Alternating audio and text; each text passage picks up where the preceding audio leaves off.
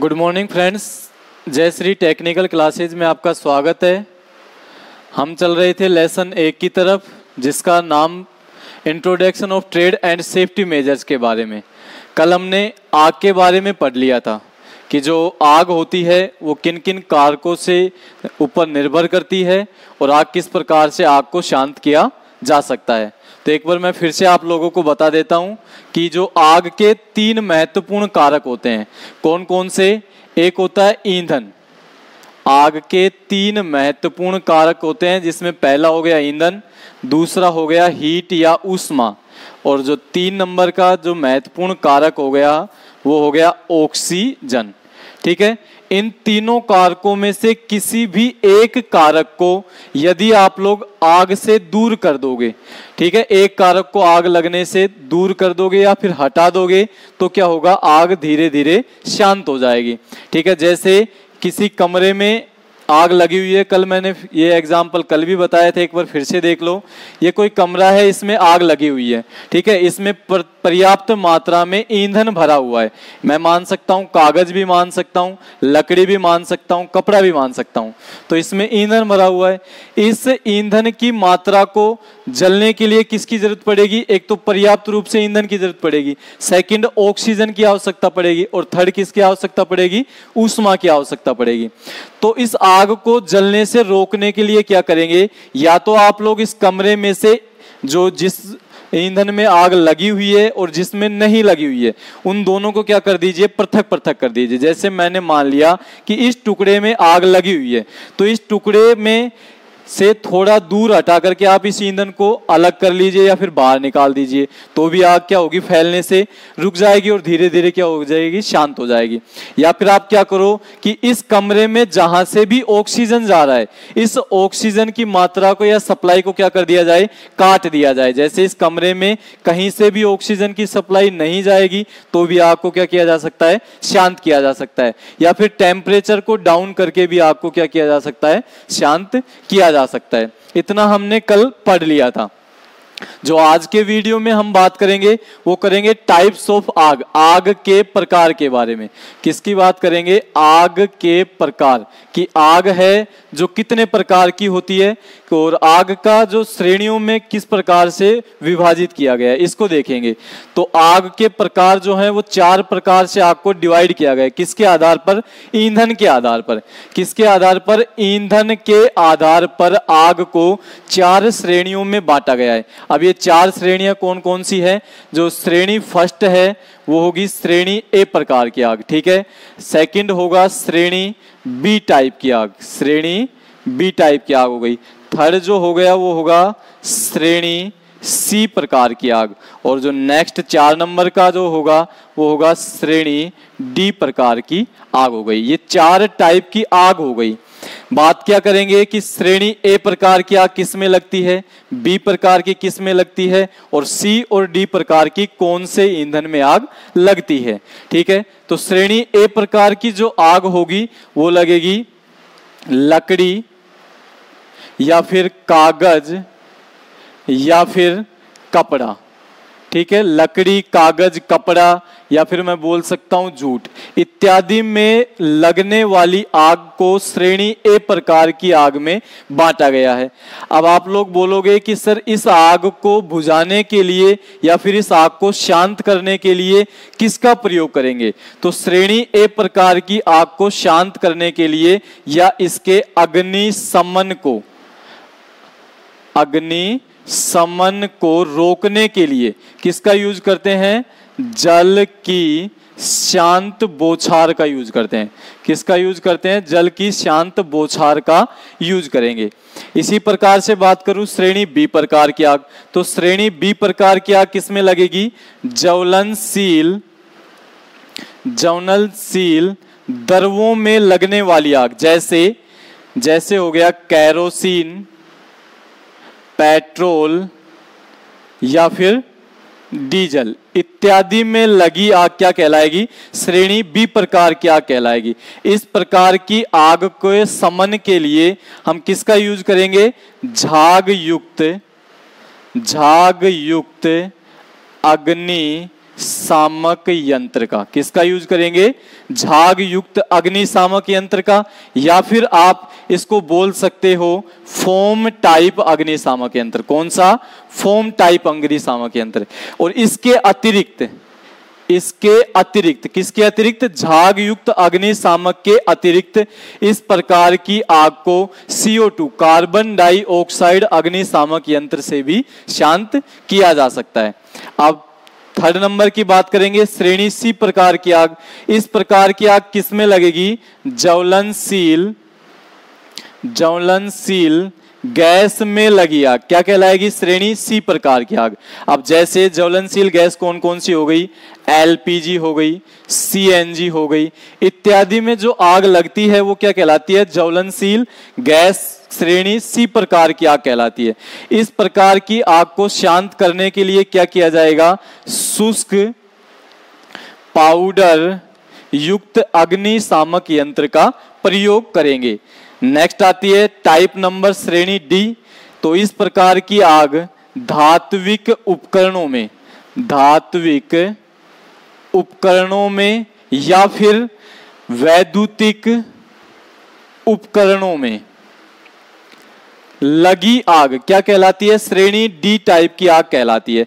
इस प्रकार की आग को शांत करने के लिए मुख्यतः या तो CO2 कार्बन डाइऑक्साइड अग्निशामक यंत्र, या फिर हम बोल सकते हैं हेलोन टाइप अग्निशामक यंत्र, या फिर CTC कार्बन टेट्रा क्लोराइड अग्निशामक यंत्र का प्रयोग हम लोग कर सकते हैं। तो ये आपके सामने आग के प्रकार हो गए। आग को चार श्रेणियों में वर्गीकृत किया गया है।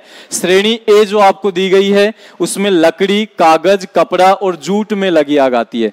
श्रेणी बी प्रकार की आग ज्वलनशील दरों में लगने वाली आग, श्रेणी सी प्रकार की आग ज्वलनशील गैसों में लगने वाली आग, और श्रेणी डी प्रकार की आग धात्विक उपकरणों में या वैद्युतिक उपकरणों में लगने वाली आग। अब वैद्युतिक उपकरण क्या क्या हो गए? जैसे ट्रांसफॉर्मर हो गया, आपका मोटर हो गया, जनरेटर हो गया, इन सभी में लगने वाली आग। क्या कहलाएगी? श्रेणी डी प्रकार की आग कहलाती है। अब हम बात करेंगे कि इन प्रकार की आगों को बुझाने के लिए किसकी आवश्यकता होगी? आप लोगों को आवश्यकता होगी अग्निशामक यंत्र की।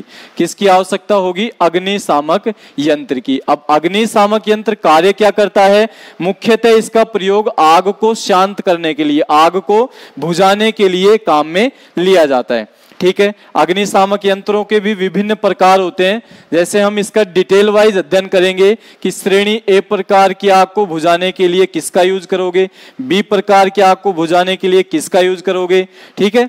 और इसके आग का जो अग्निशामक यंत्र होगा, इसमें कौन सा मिश्रण प्रयुक्त किया जाता है? क्या बात करेंगे? अग्निशामकों के प्रकार के बारे में बात करेंगे। अग्निशामकों के प्रकार। टाइप्स ऑफ़ अग्निशामक यंत्र। मुख्यतः ये चार या पाँच प्रकार के होते हैं अग्निशामक यंत्र। कौन कौन से होते हैं? फ़र्स्ट बात करेंगे जल युक्त अग्निशामक यंत्र। ठीक है? सेकंड बात करेंगे हम, जल के बाद में हो गया झाग युक्त अग्निशामक यंत्र। थर्ड की बात करेंगे, शुष्क पाउडर हो गया।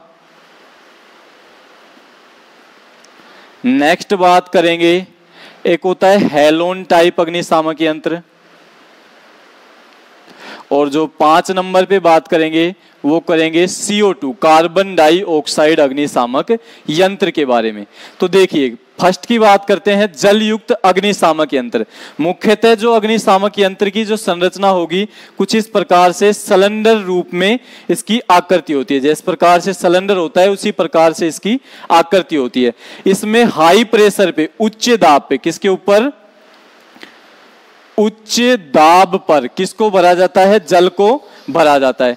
उच्च दाब पर जल को भरेंगे तो क्या होगा? इसमें जल की तीव्र मात्रा या ज़्यादा जल एकत्रित होगा, जिसके कारण इसमें जो अपना, अपन बोल सकते हैं, जो स्केल आता है या फिर जो इसका पिंचिंग मशीन आती है, उसको दबा करके, स्प्रे को दबा करके, क्या कर सकते हैं? इस प्रकार की आग को, जैसे लकड़ी में कहीं पर आग लग रही है, लकड़ी, कागज़, कपड़े में आग लग रही है तो अपन शांत जल की बोछार को तीव्र प्रेशर से इस लकड़ी के ऊपर, कागज़ के ऊपर, जूट के ऊपर गिरा करके शांत कर सकते हैं। ठीक है दोस्तों, इसी प्रकार से बात करेंगे। भागयुक्त अग्निशामक यंत्र।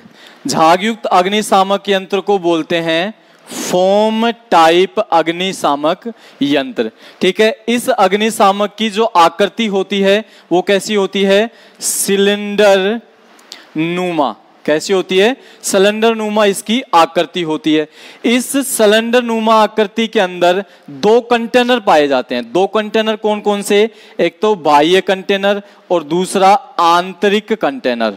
ठीक है, बाह्य कंटेनर और आंतरिक कंटेनर बाह्य कंटेनर में सोडा बाई कार्बोनेट बाह्य कंटेनर में सोडा बाई कार्बोनेट को भरा जाता है, जबकि आंतरिक कंटेनर में एल्यूमिनियम सल्फेट ठीक है एल्यूमिनियम सल्फेट को भरा जाता है। अब इस दोनों कंटेनर की अभिक्रिया के पश्चात जैसे ही आप इसको यूज़ करोगे, जब इसके तीव्र गति से प्रेशर डालोगे, ठीक है, इसके हैंडल के ऊपर तो क्या होगा, दोनों कंटेनर आपस में मिक्स हो जाते हैं। और जिसके फलस्वरूप उच्च दाब से झाग युक्त अग्निशामक यंत्र के द्वारा तेलीय आग के ऊपर इसको क्या किया जाता है स्प्रे किया जाता है। जिससे क्या हो जाएगा, ये जो श्रेणी, कौन सी?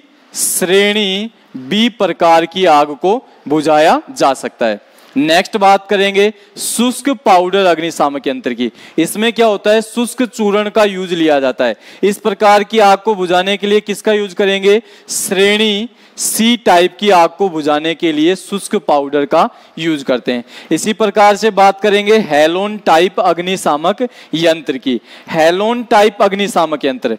ये श्रेणी डी प्रकार की आग को बुझाने के काम में लिया जाता है। श्रेणी डी प्रकार की, ठीक है? हेलोन टाइप अग्निशामक यंत्र में क्या होता है?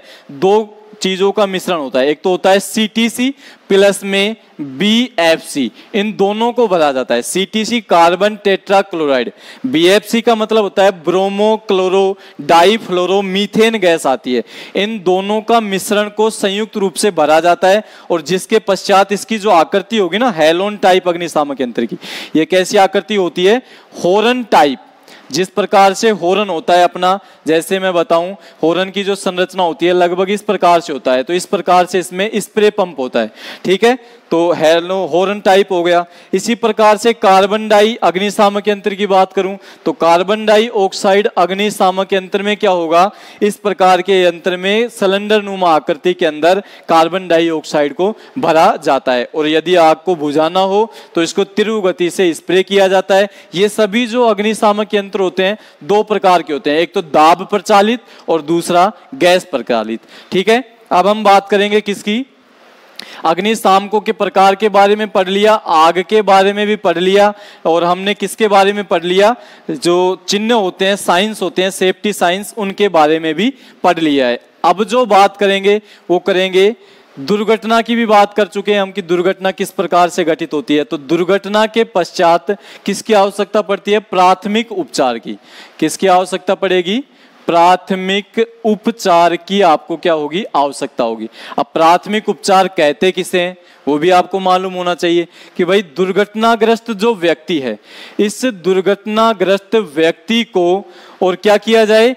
प्राथमिक उपचार देने के लिए हॉस्पिटल से पहले जो भी प्राथमिक साधन उपलब्ध कराए जाते हैं, वो क्या कहलाता है? प्राथमिक उपचार कहलाता है। कोई दुर्घटनाग्रस्त व्यक्ति को हॉस्पिटल से पहुँचने से पहले जो भी प्रसाधन या उपचार व्यवस्थित करवाया जाता है, उपलब्ध करवाया जाता है तो क्या कहलाता है? प्राथमिक उपचार कहलाता है। अब प्राथमिक उपचार की मुख्यतः तीन विधियाँ होती हैं। कितनी विधियाँ होती हैं? तीन विधियाँ होती हैं प्राथमिक उपचार की। मुख्यतः तीन विधियाँ होती हैं। कौन कौन सी होती हैं? फ़र्स्ट की मैं बात करूँ तो इसको बोल सकता हूँ सिलवेस्टर।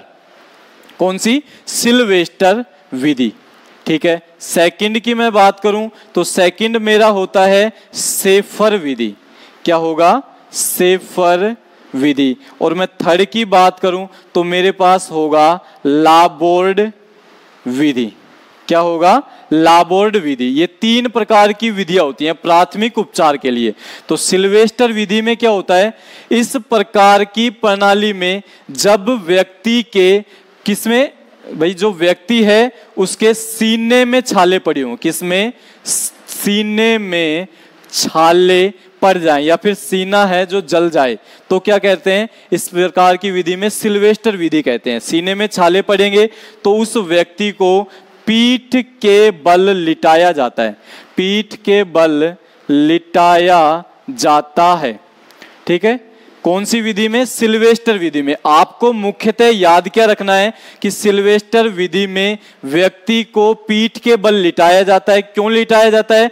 क्योंकि उसके सीने में छाले पड़े हुए हैं। भाई, मेरे सीने में छाले पड़े हुए हैं तो मैं, ऐसा तो नहीं कि सीने के बल लिटाया जाएगा। क्या होंगे? घाव और गहरे हो जाएँगे, इसलिए पीठ के बल लिटाया जाएगा। और उसके जो हाथ होते हैं, उन हाथों को क्या किया जाता है? सर के पास ले जाया जाता है, पीछे ले जाया जाता है। ठीक है? और उनको मोड़ करके सीने के ऊपर दाब दे करके इस प्रकार की जो प्रणाली होती है, इसको लगभग 10 से 12 बार दोहराया जाता है, जिससे क्या किया जाता है, व्यक्ति को श्वसन को निरंतर रूप से चालू किया जा सकता है। सेकंड में बात करूँगा किसकी? सेफर विधि की। सेफर विधि में क्या होता है कि इस विधि में व्यक्ति को सीने के बल लिटाया जाता है। किसके बल लिटाया जाता है? सीने के बल। क्यों लिटाया जाता है? क्योंकि व्यक्ति की पीठ में छाले पड़े हुए हैं। और वही सेम प्रक्रिया कितनी बार दोहरानी चाहिए? 10 से 12 बार ये प्रक्रिया दोहरानी चाहिए, जिससे व्यक्ति को संपूर्ण रूप से श्वासन की प्रक्रिया को चालू किया जा सके। ठीक है नेक्स्ट बात करते हैं, लाबोर्ड विधि की। देखिए, ये मैं सीधे तौर पर बता रहा हूँ, इस विधि को करने से, प्रैक्टिकली रूप से अपने को बताने से कोई फ़ायदा नहीं है, क्योंकि अपन कंपिटिशन बेस की तैयारी कर रहे हैं। तो नेक्स्ट नेक्स्ट बात करते हैं लोबार्ड विधि। कई कई विद्यार्थियों ने तो लोबार्ड विधि का नाम शायद आज पहली बार सुना होगा। तो मैं आपको ये बता देता हूँ, इस जो ये विधि है, इसको अपन कृत्रिम श्वास की विधि भी बोल सकते हैं। क्या बोल सकते हैं? कृत्रिम श्वास की विधि। ठीक है, कृत्रिम श्वास की जो प्रणाली होती है, वो भी बोल सकते हैं अपन इस विधि को। इस विधि में क्या होता है, व्यक्ति को दो प्रकार से श्वसन क्रिया दी जाती है। अब ये दो प्रकार कौन कौन से हैं? भाई, एक तो होता है मुख से मुख विधि, ठीक है? सेकंड होता है मुख से नाक विधि। दो प्रकार से श्वसन की क्रिया दी जाती है। ठीक है? मुख से मुख विधि में क्या होगा? इस विधि में व्यक्ति के मुख को साफ़ करके, उसकी जिव्या को जीव को बाहर निकाल करके, और क्या किया जाता है? नाक के द्वारा श्वसन की क्रिया 10 से 15 बार दोहराई जाती है। ठीक है? ये तो किसमें हो गया? मुख से नाक विधि में। और यदि ये विधि कारगर नहीं है, व्यक्ति का नाक है, जो क्या हो गया है तो उसके ऊपर छाले पड़ गए या फिर जल गया है तो अपन किस विधि को अपनाएँगे? मुख से मुख विधि को अपनाएँगे। अब इस विधि में क्या होता है? मुख से मुख विधि में, मुख से मुख विधि में व्यक्ति के मुँह को साफ़ करके, उसकी जीभ को बाहर निकाल करके, ठीक है, क्या किया जाएगा? एक सूती वस्त्र लेकर के उसके रोगी के मुँह पर रख दिया जाएगा। जिससे क्या होगा? यदि वह रोगी किसी भी श्वसन क्रिया की बीमारी से ग्रसित है तो आपको वो बीमारी नहीं फैले एक व्यक्ति से दूसरे व्यक्ति में ट्रांसफ़र ना हो। इसलिए क्या करते हैं? श्वसन क्रिया देने से पहले एक स्वच्छ कपड़ा लेकर के, सूती कपड़ा लेकर के क्या किया जाता है? उस रोगी के, रोगी से ग्रस्त व्यक्ति के मुँह के ऊपर रख दिया जाता है। और फिर क्या किया जाता है? तिरु गति से सांस भर करके उस व्यक्ति के द्वारा ग्रसित रोगी को श्वसन की क्रिया दोहराई जाती है। कितनी बार? लगभग ये भी विधि 10 से 15 बार दोहराई जाती है, जिससे क्या होता है? उस व्यक्ति की क्रिया चालू हो जाती है। अब भाई यदि नहीं होगी चालू तो क्या करना चाहिए? आपको स्वयं ही डॉक्टर नहीं बनना है। आपको स्वयं ही उसको मृत घोषित नहीं करना है। क्या करना पड़ेगा? एक बार आप उसको डॉक्टर के पास ले जाइए। जब तक डॉक्टर ना कहे, उस व्यक्ति को मृत घोषित नहीं करना चाहिए। ठीक है दोस्तों? तो ये हो गई अपना प्राथमिक उपचार की विधियों के बारे में भी हमने पढ़ लिया है। अब हम बात करेंगे जो अपना इंट्रोडक्शन ऑफ़ ट्रेड और सेफ्टी मेजर्स है। इससे संबंधित महत्वपूर्ण क्वेश्चनों सीरीज़ की बात करेंगे कि भाई इस चैप्टर में से कौन कौन से क्वेश्चन बन सकते हैं, जो ऑब्जेक्टिव क्वेश्चन आते हैं एग्ज़ाम में, वो कहाँ कहाँ से बन सकते हैं और क्या क्या वो होते हैं। ठीक है? तो जैसे मैं पहले क्वेश्चन से स्टार्ट करता हूँ, इस चैप्टर का जो पहला क्वेश्चन बनेगा, जैसे क्या हो गया? B I S B I S की फुल फॉर्म क्या होती है? तो bureau of Indian standard B I S की full form bureau of Indian standard हो गया। एक आती है I S O I S O की फुल फॉर्म भी पूछ ली जाती है कई बार एग्ज़ाम में। तो इसका मतलब क्या होगा? इंटरनेशनल स्टैंडर्ड ऑर्गेनाइजेशन हो गया। अंतरराष्ट्रीय मानक संगठन हो गया। ठीक है? सेकंड क्वेश्चन भी हो गया। थर्ड क्वेश्चन की मैं बात करूँ तो अपन सीधे चलते हैं किसमें? सेफ्टी साइंस के अंदर। किसमें चलते हैं? सेफ्टी साइंस के अंदर चलते हैं। ठीक है? अब ये सेफ्टी सिंग्स क्या होते हैं? सुरक्षा के चिन्ह क्या होते हैं? ये देखिए। भाई, चार प्रकार के मैंने आपको बताए थे। या तो क्या होगा, वो चारों प्रकार के नाम देकर के आपको पूछ सकता है। कोई भी तीन नाम दे देगा, उपरोक्त सभी दे देगा। तो कौन कौन से होते हैं, वो मैंने आपको पिछले वीडियो में बता दिया है। ठीक है? इसमें कौन कौन से होते हैं? मुख्यतः क्या पूछेगा आपसे? जैसे अपना हो गया, निषेधात्मक। कौन सा सिंबल हो गया? निषेधात्मक चिन्ह हो गया। अब इस चिन्हों के बारे में आपको पूर्णतः डिटेल मैंने पिछले वीडियो में उपलब्ध करा दिए मेन रूप से चार चीज़ें आपको याद रखनी पड़ेंगी। मैं एक चिन्ह की बात करूँगा और आप मेरा यही ऑब्जेक्टिव वीडियो रोज शाम नौ बजे, नौ पीएम पर हम एक यूथ पब्लिकेशन की बुक का सॉल्यूशन करा रहे हैं। जो बुक है, चैप्टर वाइज चल रहे हैं। यहाँ पर भी क्या चल रहा है? Introduction of trade and safety measures और जो शाम का 9 पीएम का वीडियो है, उसी में भी क्या चल रहा है? लाइव वही चल रहा है। क्या चल रहा है अपना? Introduction of trade safety measures अंतर क्या है दोनों में? भाई, इसमें तो अपन थ्योरी पढ़ रहे हैं और जो नौ बजे का जो वीडियो रहेगा लाइव, उसमें क्या पढ़ेंगे आप लोग? उस वीडियो के अंतर्गत आप ऑब्जेक्टिव क्वेश्चन पढ़ोगे। जैसे ये चैप्टर हो गया, इसी के ऑब्जेक्टिव क्वेश्चन पढ़ोगे, ठीक है? तो ये क्वेश्चन आप यहाँ से भी देख सकते हैं। किसकी बात कर रहे थे? एक सुरक्षा चिन्ह की बात कर रहा हूँ कि भाई इस प्रकार के चिन्ह की आकृति।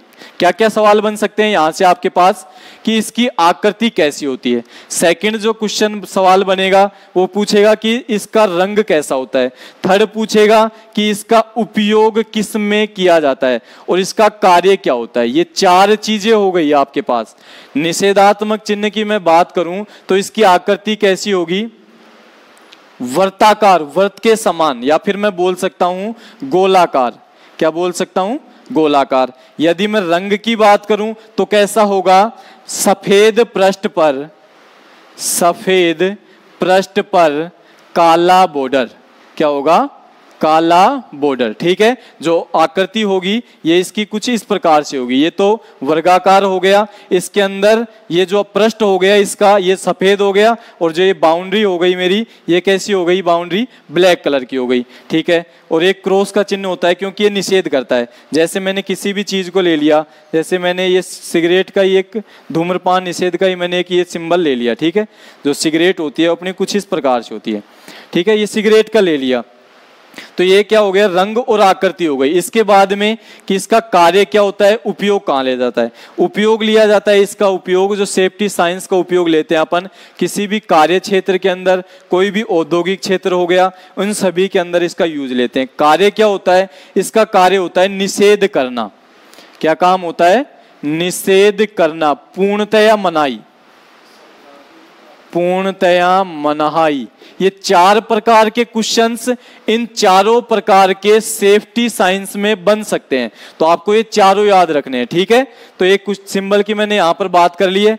अब मैं बात करूँगा किसकी? आग के बारे में कि आग में कौन कौन से जो महत्वपूर्ण क्वेश्चन हैं वो बन सकते हैं। जैसे आपसे पूछ लिया जाए, जैसे दिल्ली मेट्रो में आया हुआ क्वेश्चन है, किसमें आया हुआ? डीएमआरसी में। डीएमआरसी में क्वेश्चन आया था कि श्रेणी डी टाइप की आग, श्रेणी डी टाइप की आग किन उपकरणों में लगती है? तो आपको क्या बताना है? अभी मैंने आपको बताया भी था, धात्विक उपकरणों में जो आग लगती है, वो क्या कहलाती है? श्रेणी डी टाइप की आग कहला सकती है? या फिर बोल सकते हैं, बिजली में लगी आग या विद्युत में लगी आग। क्या कहलाएगी श्रेणी? डी टाइप की कहलाएगी। इसी प्रकार से आपसे पूछ लिया गया कि श्रेणी बी प्रकार की आग किसमें लगती है? तो आप लोग बता सकते हैं ज्वलनशील तेल में या दरुओं में लगने वाली आग। श्रेणी बी टाइप की आ सकती है। आपसे पूछ लिया गया कि श्रेणी डी प्रकार की आग के समन के लिए किसका यूज़ करोगे? तो सबसे इंपॉर्टेंट जो ये आंसर रहेगा, ये रहेगा इसका हेलोन अग्निशामक यंत्र का। ठीक है? सबसे ज़्यादा बार एग्ज़ाम में आया हुआ क्वेश्चन है कि श्रेणी डी टाइप की आग को बुझाने के लिए हेलोन टाइप अग्निशामक यंत्र का यूज़ लिया जाता है। यदि ये ऑप्शन में नहीं है तो आपको क्या लिखना है? है सीटीसी कार्बन टेट्राक्लोराइड का यूज़ लेना है। यदि ये भी ऑप्शन में नहीं है तो आपको क्या करना है? CO2 मुख्यतः CO2 से लगभग ये चारों प्रकार की आग को आप लोग शांत कर सकते हो और मेन रूप से जो होता है हेलोन से भी आप लोग बुझा सकते हो। ठीक है? इसी प्रकार से आपसे पूछ लिया जाए कि भाई, चार अपने को अग्निशामक यंत्र दे देगा और उनसे पूछा जाएगा कि ये अग्निशामक यंत्र किसमें यूज़ लिया जाता है? जैसे मैंने बोल दिया कि जल की बोछार। जल की बोछार से कौन सी आग को बुझाया जा सकता है? तो आप लोग क्या बताओगे? श्रेणी ए टाइप की आग को किसके द्वारा बुझा सकते हैं? जल की बोछार से आप लोग शांत कर सकते हो। या फिर कई बार ये भी दे दिया जाता है कि रेत की बाल्टी, क्या दे दिया जाता है? रेत की बाल्टी से किस प्रकार की आग को बुझाया जा सकता है? शांत किया जा सकता है। तो जो इसका आंसर रहेगा ना, रेत की बाल्टी, उसको अपन श्रेणी ए प्रकार की भी आग बुझा सकते हैं, ठीक है? श्रेणी सी प्रकार की आग को भी बुझा सकते हैं, श्रेणी बी प्रकार की आग को बुझा सकते हैं और श्रेणी डी प्रकार की भी आग को शांत कर सकते हैं। किससे? रेत की बाल्टी हो गई ठीक है, इस अपना जो चैप्टर चल रहा था, इसके महत्वपूर्ण प्रश्न हो गए। ठीक है दोस्तों, आज के लिए वीडियो में हम इतने ही बात करेंगे। नेक्स्ट कल अपन नया लेसन स्टार्ट करेंगे। कल मतलब सोमवार को। ठीक है, यदि अभी तक आपने हमारे चैनल को सब्सक्राइब नहीं किया है तो सब्सक्राइब कर लेना। साथ में बेल आइकन को भी प्रेस कर देना। एक बार मैं आपको एक चीज़ और बता देता हूँ कि जो हमारी क्लास से चल रही है, वो किस किस टाइम पे चल रही हैं? सुबह छह बजे। सुबह छह बजे आपकी डेली इलेक्ट्रीशियन थ्योरी क्विज चल रही है। डेली इलेक्ट्रीशियन थ्योरी क्विज चल रही है, जो पहली इलेक्ट्रीशियन की क्लास हो गई। सेकंड जो इलेक्ट्रीशियन की क्लास है, वो 11 एएम पर। कब से कब तक चल रही है? 11 एएम तक। इलेक्ट्रीशियन थ्योरी की इलेक्ट्रीशियन थ्योरी चल रही है, ठीक है? जो थर्ड क्लास है, वो चल रही है शाम को 9 बजे 9 पीएम पर। क्या चल रही है? यूथ बुक का सॉल्यूशन करा रहे हैं। जो यूथ की बुक है यूपी पीसीएल और यूपी आरवीएनएल टीजी टू की, ये वैकेंसी भी आई हुई है तो इसके बारे में अपन कंप्लीट बुक का सॉल्यूशन करा रहे हैं। ठीक है दोस्तों, धन्यवाद।